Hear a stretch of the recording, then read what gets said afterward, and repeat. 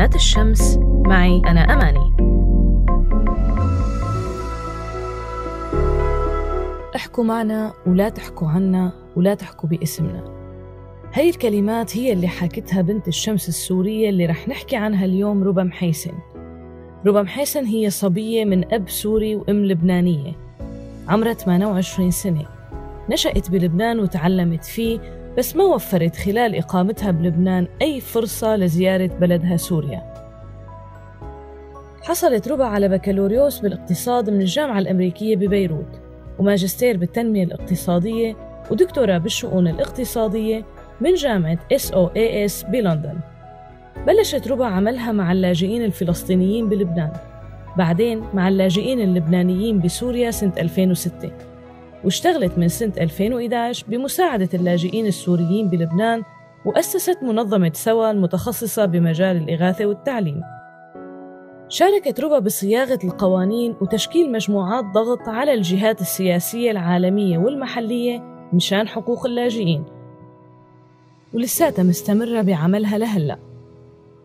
وأهم موقف وقفته ربا محيسن ودافعت فيه عن اللاجئين السوريين كان بمؤتمر مساعدة سوريا والمنطقة المنعقد بلندن بشباط سنة 2016 وقت ألقت كلمة استمرت 8 دقايق قدام سياسيين ومسؤوليين غربيين وعرب منهم الأمين العام السابق للأمم المتحدة بان كيمون ورئيس وزراء المملكة المتحدة بوقتها ديفيد كاميرون.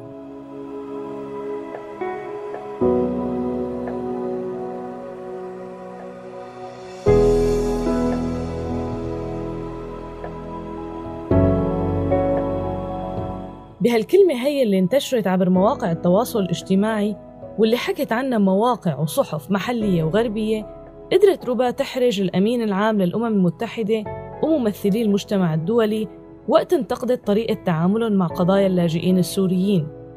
وبلشت كلمتها بجملة قالوا لي إني جاية لهون مشان سبب لكم صدمة أو مشان خليكم تبكوا أو يمكن لحتى أحكي لكم قصص عن اللاجئين السوريين بس أنا ما رح أعمل هيك. تميزت كلمة روبا بالشجاعة والواقعية والنقد البناء لطريقة تعامل الدول المانحة مع القضية السورية كلها وتعامل الدول الأوروبية والمجاورة مع آلاف اللاجئين. لتختم كلمتها بعبارة أنا عم بدعيكم لتحكوا معنا. لا تحكوا عنا ولا تحكوا باسمنا.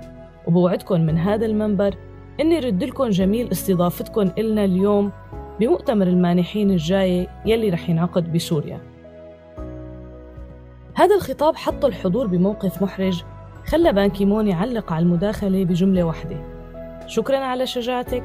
رح نعمل أكثر شيء بنقدر عليه وهيك قدرت بنت الشمس السورية ربا محيسن ترفع صوت السوري وتطالب المجتمع الدولي وقاداته بالتحدث معنا كسوريين ليقدروا يعرفوا وجعنا ويقدموا للسوري احتياجاته يلي أهمها وقف القصف بسوريا.